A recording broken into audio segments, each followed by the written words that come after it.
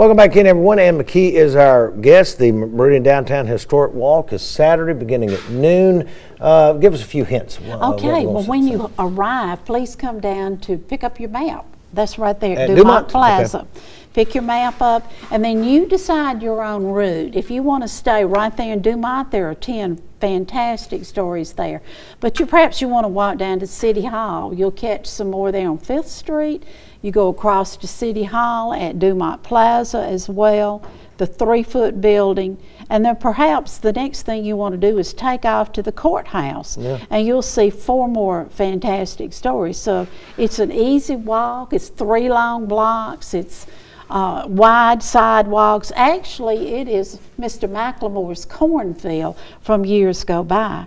So come, bring your children. Let us teach them how things really were in our city and uh, how we want to continue to teach this history so these young people can pass it on as well. I think one of the great byproducts of this, Anne, is that while you have hundreds of people downtown, you've got businesses open, you've You got do. restaurants open who are going to do. Mm-hmm. benefit for this as well. Look at this, we've got a plane going by too. But I mean, that that's a byproduct that a lot of people are going to benefit from this. Absolutely. Well, the deal is, if we do not show Meridian and, Yeah. and tell about the great things about Meridian, then all we're going to do is dwell on the little crazy things that are going on that will pass. They will pass. But the history remains the strong, good people who stayed here throughout it all and made Meridian what it is today. And we are a booming community. We will get back to where we were at one time. You said the word, but booming downtown right now is a happening place. It's Mm-hmm. It is. booming, and this kind of kicks off what is going to.